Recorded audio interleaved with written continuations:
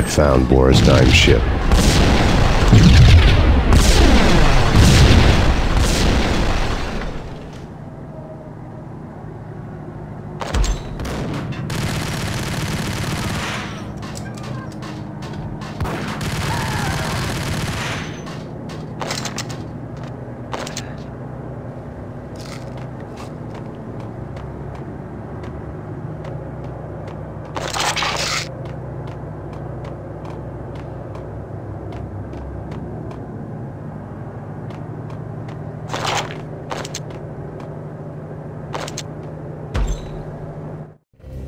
Rust had crept over the sides of the cargo steamer a long time ago.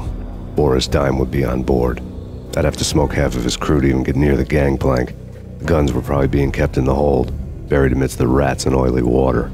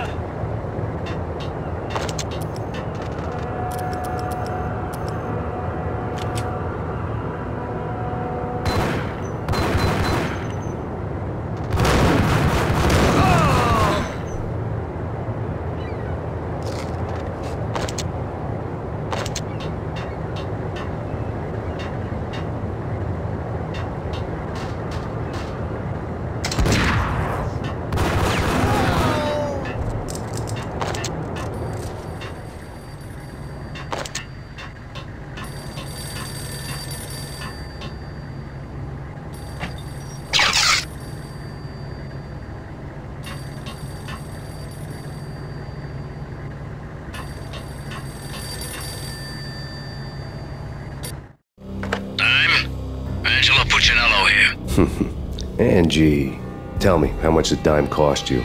I bet it was more than his name. Max Payne? Right the first time. You're dead, punk. You sure you're not confusing me with Boris here? But you are right, of course. Pretty soon we should get together and have a talk. You son of a... Pissing Punchinello off was a dangerous game, but when people get mad, they make mistakes. I should know. That's where I wanted Punchinello, mad enough to trip over his own feet, preferably into a grave.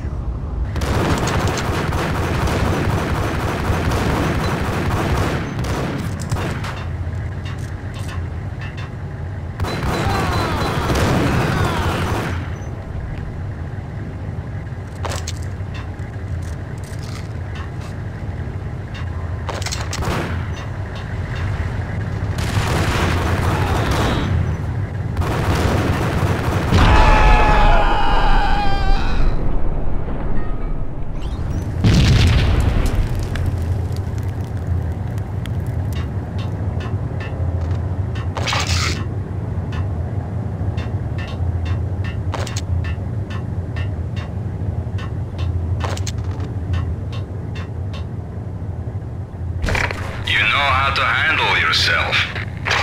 Anybody who says different is calling me a liar.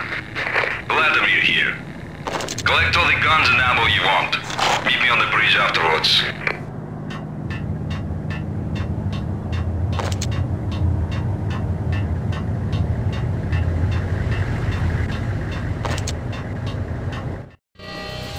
Did you get everything you need? Check.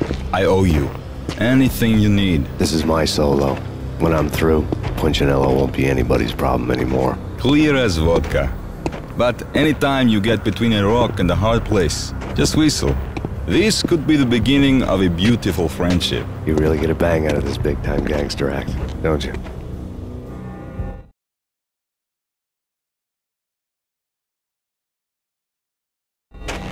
Even with all this firepower, I figured I couldn't get to Punchinello at his manor. I could only hope that he wouldn't pass a chance to hear me beg to see he's won. This is Max Payne. I want to cut a deal. Payne, you're a dead man. That's what everybody keeps telling me. I got your ship and her cargo. I want to meet. No pain, no gain. Capiche? You know my restaurant?